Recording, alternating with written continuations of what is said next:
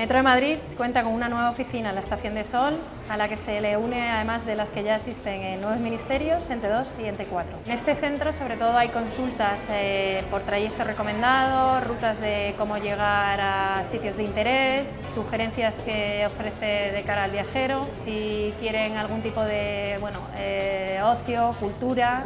diferentes servicios en los que, bueno, sobre todo se atiende al público en un horario de 7 a 22 horas. Ofrece nuevos servicios como es el tema de venta de artículos de merchant de Metro de Madrid. Existe un centro interactivo que tenemos en la estación de Alto del Arenal y lo que hace es un complemento de ese centro en el que si usted quiere poner algún tipo de sugerencia o alguna reclamación puede venir al centro directamente y se lo gestiona. Consideramos que Sol es una estación emblemática en la que diariamente pasan una media de 65.000 viajeros y calculamos que se va a hacer una media de consultas de aproximadamente 100.000 consultas mes. Se calcula que va a haber una media de unas 82.000 consultas mes entre el resto de oficinas que se atienden, entre Nuevo Ministerio, Aeropuerto y Sol. Eh, calculamos que una media diaria entre unas mil en este centro. El centro ofrece sobre todo dos pantallas táctiles en la que la gente, si